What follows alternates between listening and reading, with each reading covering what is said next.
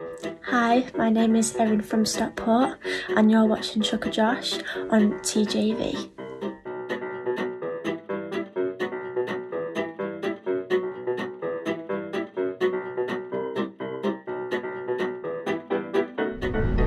Hello there, future Josh coming at you. And the future Weasel. Guys always forget about the Weasel. Diesel, no one forgets about you. You're the most important thing on this vlog. What do you mean a thing? Most important person. Thank you, bye. I have a secret message for you from the future. This is going to be a two-part vlog. The first part of the vlog, we're going to be going into Winnipeg. Britt's got her procedure. She's going to explain all of that in detail in the upcoming clips. After that, we come back home. I've got to get that new bumper installed on the W900, get it all ready for the road. I also need a power cooler. I'm going to have to go find one of those. We'll see what we can find at the store. Thanks for tuning in and watching the vlog I have put together for you. I appreciate it. We have one more day here at home and then we hit the road tomorrow. As you can tell, I'm already on the road. I'm here in Balgonie, Saskatchewan. Oh, that was a that was a spoiler alert. I'm headed west. That's for tomorrow's video though. This is today's. All right, let's go into Winnipeg. Let's get that procedure done. It's a very important one. And then uh, let's get that bumper put on the truck. It's a very important bumper. Not as important as the appointment. That's why we're doing the appointment first and then the bumper. And then we'll we'll hit the road. Thanks. Thanks for uh, thanks for being you and being there. Clicking the video.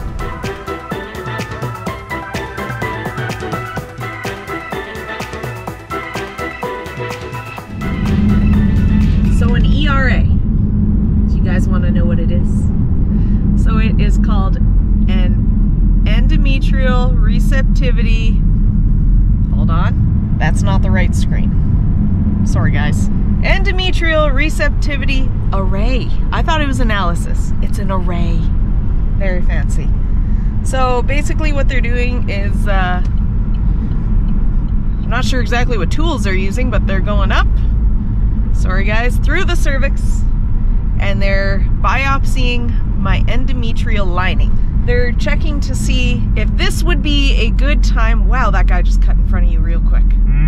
No blinker. Come here. I gave him the stink eye. Get with it, buddy. He cut me off. Anyways, they are checking to see if my lining is ready to receive an embryo. So this is a mock trial month um, where I'm on the same drugs I would be um, for an actual implantation of an embryo. They're basically seeing like, is my body ready? Was it ready a few days ago? Is it going to be ready in a couple of days? So like, you know, they're trying to pinpoint an exact window because we only have two embryos to work with. Most people have more. Well, I shouldn't say most, but a lot of people have more. So they're basically taking all of the necessary steps to ensure, not ensure success because they can't guarantee it, but to make our chances better of having a successful implantation and a baby. A baby. A baby. A skin puppy. Skin puppy. Here we are at the big tall building. Big and tall for us Manitobans anyways. A little bit anxious about this one. This one's supposed to be pretty pretty painful according to the doctor and a friend of mine so who's had it done. So Good thing you're a strong woman. took painkillers beforehand. We got this. Good luck. Thank you. Love you. Love you. See you soon. There she goes. This is this is the one we've been waiting for lately. Not the big big one yet, but it's one of the bigger ones. I'll just make my way over here to the husband's waiting area. All right. So now I'm just waiting. So she explained what it was. Uh, I figured it was more appropriate for her to explain it because uh, it's not really me that's going through this right now. So, uh, for all my new subscribers that have been piling in the last couple of days, welcome. You thought you subscribed to a trucking channel. if you go down below to the description of my video, it, it describes everything that we're going through and what we're doing, like down below the video there, and it'll show you all my social media links that you can uh, keep up with us at. Yeah, the majority of what I do is uh, truck driving. I just bought Old Blue, and we're headed out tonight. So after this, I bring my wife home, and then I go to the truck, and I got to load out to Alberta and I gotta be back uh, for Friday or Saturday for that open house. I might not make it back for the Friday on the open house. So if you're planning on coming out just like to see me or the truck, um, I'm probably only going to be there on Saturday. Just a heads up so you know, but the open house will still be open from 12 to 5 on Friday. That's the 17th, and on the 18th, we're there from 10 a.m. to 2 p.m., I believe. You guys want to come check out Keystone, what we're all about. But for now, this is a, a big part of my life and a big part of my wife's life. What's going on? So, of course, we we included in our vlog here. It's a lot more than just trucking. We also have uh, a lot of family stuff going on too. But I'm excited also that after this, I get to head towards Alberta and get back in the truck. But one thing at a time.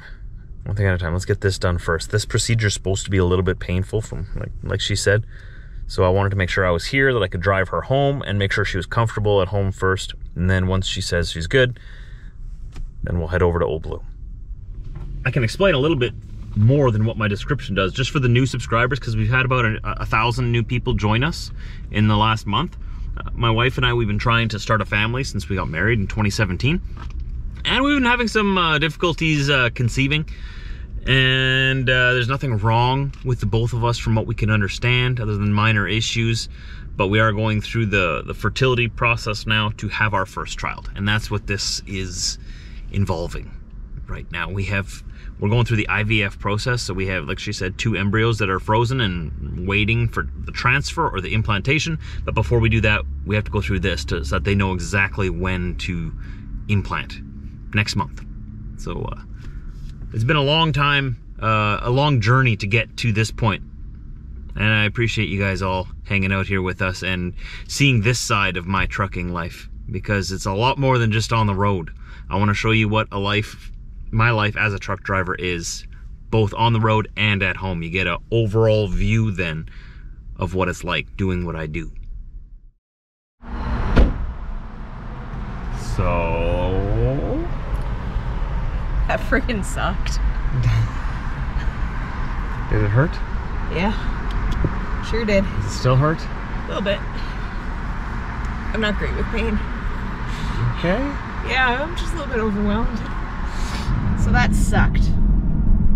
I have felt worse pain before, but I was a little bit overwhelmed with that one. That one, we had to go in twice. I had to count to 30 twice while he scraped the samples sucked. My legs, I was just telling Josh, my legs were vibrating like a little hummingbird's wings. Like I thought the speculum was gonna fall out. I was vibrating so, so much. But I'm just, I'm a wimp when it comes to pain. I know some people are a lot braver and more resilient to pain like him. I'm not. So, you know, I'm a bit of a sucky baby, but I tell you, this IVF has definitely proven that I'm a lot stronger than I ever gave myself credit for because the old Brittany would have thrown in the towel by now. But uh, yeah, so that sucked. Expect, expect some bleeding throughout the day. We'll get my biopsy results when I go in for implantation. Uh, the next step will be a week before implantation, I will be going for a lipid infusion. So they're going to inject a certain type of fat into my veins that deactivates the cells in my uterus that would naturally fight things off, like um, uh, well, an embryo, foreign bodies, things like that. You know, like just things that keep your organs safe. They're gonna deactivate them with fat cells. Science is so fascinating. And then we go for the implant, and then I take antibiotics so that you know no infection occurs or anything. But yeah, almost there. Almost there. We're getting there. We are headed to Assiniboine Pharmacy right now to drop off my old Sharps container back there and all my extra uh, like pills, all my extra hormones, needles, things like that. But I'm keeping the alcohol swabs because we paid for those and those are hard to come by. COVID nearly abolished the world of alcohol swabs, so we got a gold mine sitting in our house. Frank, Chevy, Diesel. There's a wiener there somewhere. Diesel, you worried about your mom? I think he's more worried about you packing up for a trip. No, he's coming with. Oh, is he? Uh-huh. Oh, okay. Oh, I'm not thinking about this time. You coming to Alberta? There's way too many cows out there for you to miss, man. That's right. Let's see the cows. You ready to go on a trip? That'll be in tomorrow's vlog. But how are you feeling now that we're at home? Okay. Yeah? Yeah. Any big pain or anything? No, keeping up with my Advil. I'm good. That's good. You fed me, so now I'm okay. I had a burrito bowl. Yeah. Feeling good. So uh, I don't know how many of you guys out there are going through the IVF process. It's very, uh, it's quite the quite the ordeal for the ladies. It's lengthy, painful. Yeah. But I don't know what else to say. There's not much you can say. So what are your plans now that you're at home? Good plan. and you got to work first thing in the morning, eh? Yeah. So I'm just gonna sit, drink lots of water, eat healthy, and watch cheesy British romances. Sounds great.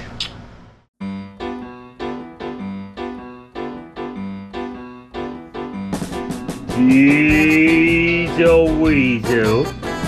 Chevy, Chevy. That's the only rhyme you can come up with?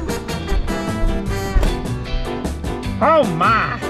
Frank! Other Frank! He's the other Frank. Other Frank? I can't tell you guys apart. Frank and other Frank. I'll just call you Wiener. Frank and Wiener. The two Franks. Look at you two cuddling, little cuddle buddies.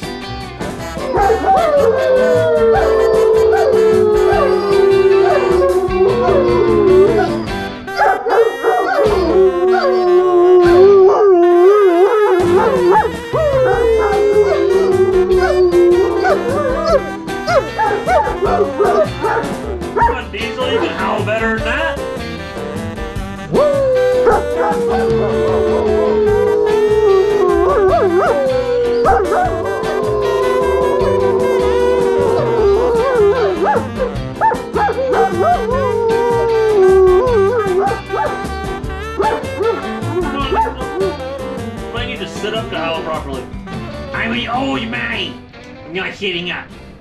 Take it or leave it. It's the best I got. I just left Canucky Tire. Canadian Tire, you know what that means. I spent money again. I bought a power cooler for the truck. Because the truck doesn't have a fridge. Strange, right? I thought most trucks had fridges. My truck is awesome. However, its awesomeness does not extend to the uh, to the uh, frigid cooling of food levels. So we fixed that by going and buying a Mobile Cool cooler from Canadian Tire. That's the brand name, Mobile Cool. Because it's super cool and it's mobile. Let's see what happens. I don't know. We'll see what happens. I measured it out. It should fit underneath the bed. If it doesn't, I'm returning it. I have seven days. According to the receipt. Seven days. So I have seven days to cram it under there. We'll figure it out. Before we go to the shop and try it out, uh, I need to get some food. What do you think? Subway? Subway. We don't, I didn't really want to spend a lot of money on food, but Subway. Yeah, Subway. That's better than McDonald's, right? Progress. There's my cooler. Can you see it? Show it off to you. Behold! Cooling technologies. Green light. Green light. All right, Subway. Subway, Subway, Subway. Don't run over Grandma. Don't run over Grandma. Subway. Yes! Let's park beside the little go-kart. Mmm. Hungry. We're here with Old Blue, and the new bumper came in. It's just a standard bumper. But uh, this one here has a kink in it. See, it got bent out at one point, and the seller, uh, it was part of the sale that he would put a new bumper on here, or get me a new bumper. And I told him that, hey, if you could just bring it to my shop, I'll put it on myself. I don't mind. I, I, I like to keep my hands busy, and I kind of want the, the satisfaction of putting it on myself anyway. So he brought the bumper here yesterday. I'm gonna take this old kinked bumper off of here and put the new one on. Using just regular wrenches. No power tools today. We're gonna make this fun.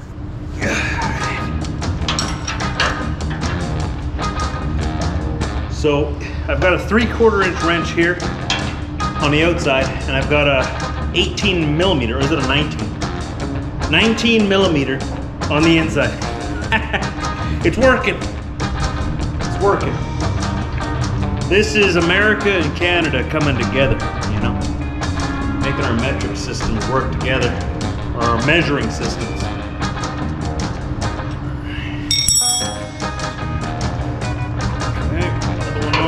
I've already got the two off on that side. I'm gonna leave these two center ones for last. And I have to be careful with the last one because the bumper's gonna wanna fall off. So I'll probably undo this one first, lean the bumper down, and then do that one last. And one more up here.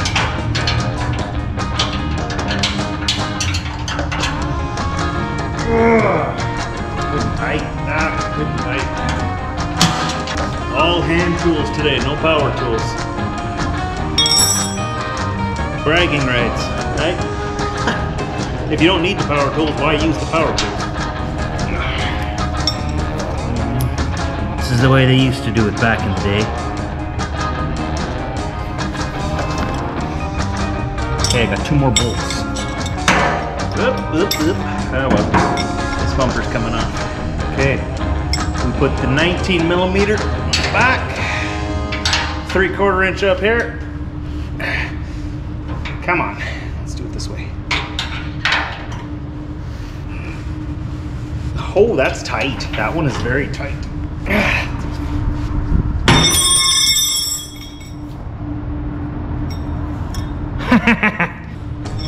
I'll move on to this one. Don't waste too much time on things that don't work with you. Move on and we'll worry about that one later.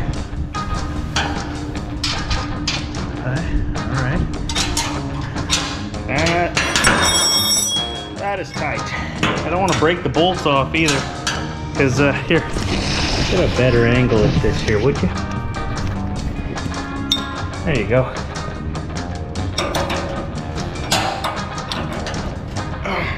Come on. Come on. Oh, man. That was one dirty bolt. This would be so much easier with my impact. But no power tools. No power tools. We're men. That's a reference to the Wandering Bearded Idiot on YouTube. You should go check him out. He's a friend of mine. It's his signature. At least I've made it his signature. He always goes.